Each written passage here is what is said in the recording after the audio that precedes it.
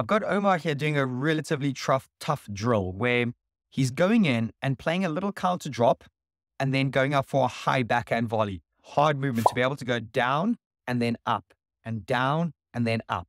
So let's see how he's doing. There's a couple of key little technical things that he's doing well, but also not so well that I want to point out that, that we're going to work on. So as I said, it's such a hard movement and his, his backhand volley, and you probably really know that a lot of lefties up on that high backhand volley, that's a real weak area for lefties. So I think what I want to try and make sure we're showing, well, here we go. Here's quite a, maybe a good demo while holding the tube as well. I know I'm showing it from different sides. It's that high low position. And even if I just, you know, uh, I know I'm only ghosting that backhand, but if you want to check, I'm trying to get that racket up nice and steady. As I'm hitting it there, I'm trying to keep my shoulders nice and horizontal as well. I'm going to make those points as I go. And I didn't give them obviously a proper demo, but what I'm trying to show is kind of a low to high position as I'm just going to demo it there. So let's just see how this goes again, and I'll unpack little bits of it. So that's slightly better. And again, I've done another video where he was doing a counter drop with the machine. Really interesting how his arm and racket is behind his shin and then it's, you know, it's having to push forward. We need to figure out a way where his hand gets out in front a little bit more you know, that's kind of side on for counter drop, whereas we need to push the hand, you know, above the shoelaces, out in front of the shin, maybe. And that for me would be more effective for a solid counter drop. So he goes back, does well with his movement, and let's see what he does with his backhand volley. Wasn't the highest one. And he's just got, and you can just see there, he's just got a little bad habit of breaking that wrist a little bit. It's not as strong as I would like, and but to be fair, I like the the reach, I like the contact point. There's just something within the body that's not quite balanced. And we'll obviously look at a few more as we go.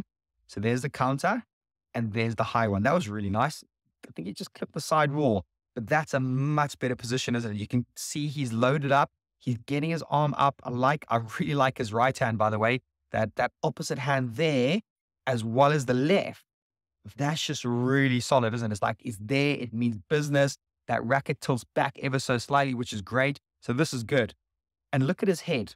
Look at how he's having to really turn his head because his upper body is rotating that way. That's so important. To get backhand and any power or any control, you need to be showing your shoulder blade, even part of your back to the ball. And he does really well on that one. There, he does even more of a little twist.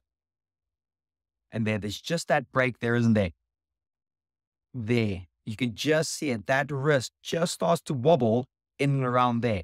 And for me, we need to make that more secure, more solid, because that wobble just means that racket head meets the ball and it's just a little bit wobbly on the way in, possibly. And that's why I think he clips the sidewall and doesn't quite have the control and the follow through. You can see that follow through. Look at that. It's just, it's, it's just coming across a bit too much, isn't it? It's just a bit sloppy with what's going on over there and it's not quite directing to where that ball should be going towards the target.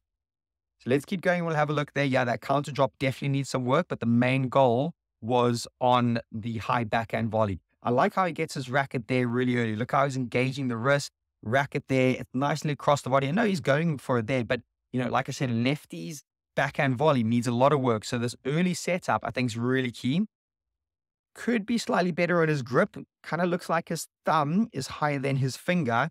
You want that top finger, that trigger finger higher than the thumb. So that could be something to have a little look at and work on.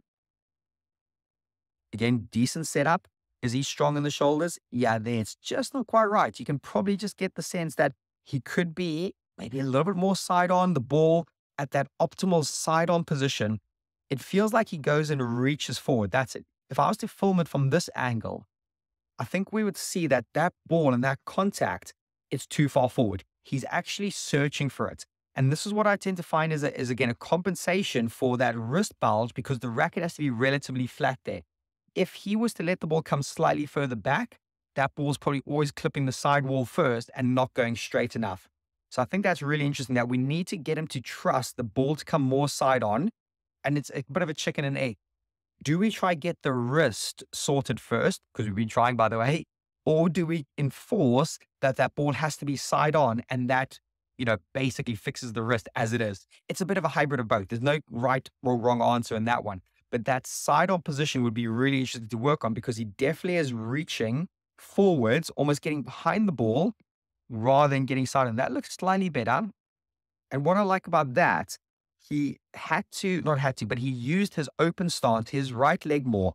And that definitely looked more side on. You can just see that's better. And he's, there we go. And the follow through is better. He's shaping around the ball. There's definitely this, you know, this backhand shape up on that volley that I see the better players doing. They're hitting around the ball. They're having their wrist slightly cocked, whereas Omar's wrist there is not so cocked because of that, those knuckles just bulging. And like I said, just to give some backstory, it's come a long, long way. It used to be very wobbly, very bulgy. He's worked really hard to try fix it, and it's getting better the whole time.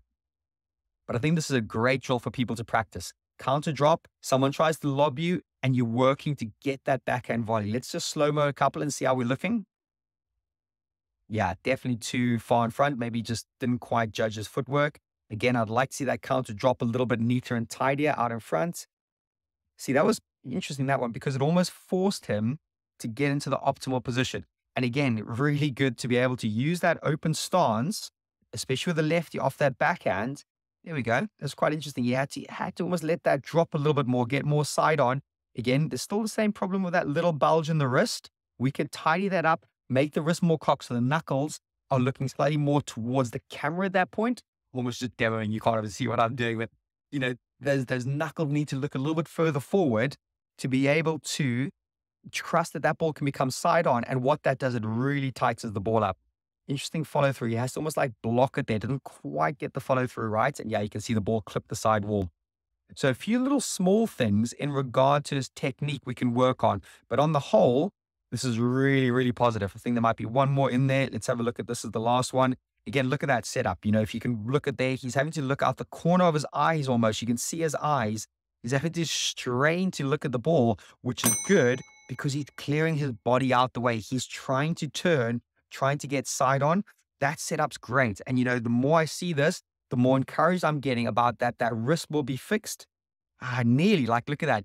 All until then, Fantastic. Great, great, great. And let's just, I know, kind of zooming right in just watch that wrist. I can't zoom in more. Uh, that's fine. Like that is where the, the damage happens. Let me just, you know, to try something a little quite cool here, hopefully. Ah, let's give that a go. Yeah, you can just see that wrist there. So let me do it about that. So there, that's it there. It just does that. You can just see the bulge, you know, turns upwards to the ceiling when it should be a little bit more cocked in that position. So yeah, if we, if Omar could work on that and we will work on that, that's going to help a lot get him into a slightly more side on position and trusting that that ball can be left to be more side on because, like I said, there's more shape on the ball, more spin on the ball. And ideally, that ball is going to be tight. Whether it goes to the back or to the front, that floorboard squash can come into play there. So, hopefully, anyone watching that struggling with a high backhand volley, hopefully, this is resonating, but also equally important to get that combination of low to high, low to high, a hard movement, but really worth getting out there and practicing a little bit more.